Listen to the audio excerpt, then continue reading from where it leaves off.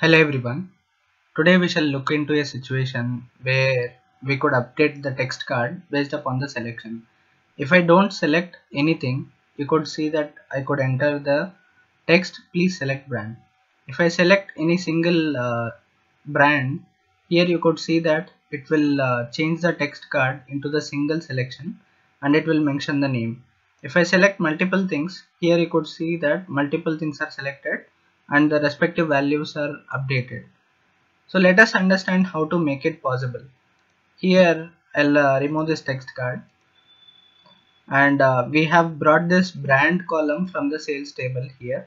If I select the slicer, this is my slicer where I have selected the brand column. Let us open the measure table and uh, let us create a new measure in order to understand how it works. Here let us understand initially how, how selected value function works I'll write selection equal to here I'll write selected value. In the column name I'll provide sales brand comma if at all any alternate if at all multiple values are selected I would like to give the alternate result as uh, more than one okay? This is my alternative result if at all more than one brand is selected it will show the respective more than one condition. Okay this is a simple selected value function which i have written. Let us uh, get into the get it into the text card and see how it works. I'll go to home. I'll select the text card. Here i'll select this text card. And in this text card we shall bring in the measure which we have written selection. Okay now here you could see that it it it has mentioned more than one because we have uh, not selected anything. Suppose that if we select apple here it will show the apple. If we select multiple things it will show more than one. So you could understand that if at all anything is not selected it will show me the other condition which is alternate result.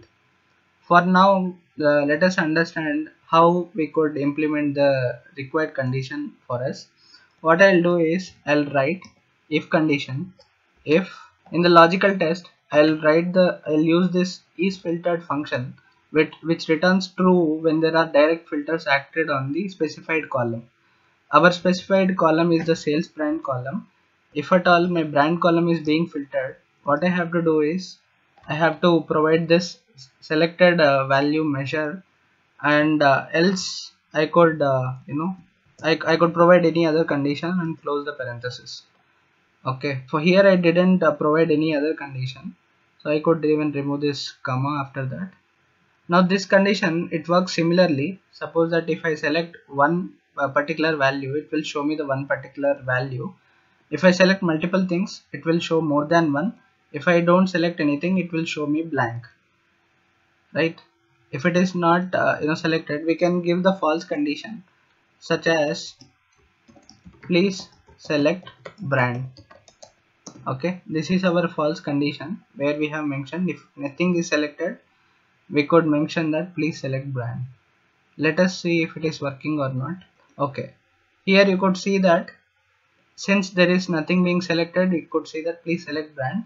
If i select it here you could see that you know single values are you know it is showing perfectly fine if I select multiple things since I have more than one mentioned in the alternative result of selection you know selected value measure or function so it will uh, show me the respective values. Now suppose that I'll make it little more better working. Sup suppose in the true condition if I could use another if condition and here I want to check when the sales brand column is filtered I would like to check if it has one value or not. If it has one value for the sales brand column now what I want to do is I have to concatenate I'll concatenate I'll write single I'll put something like this uh, colon and I'll put a comma because concatenate function takes two parameters.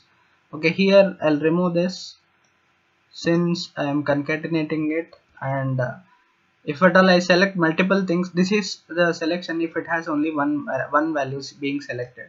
If at all I have multiple selections what I could do is I could concatenate uh, you know use the concatenate x function.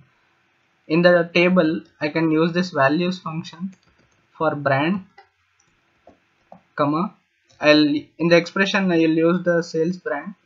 Delimiter I'll put a comma for now and I could further order by expression if I wanted.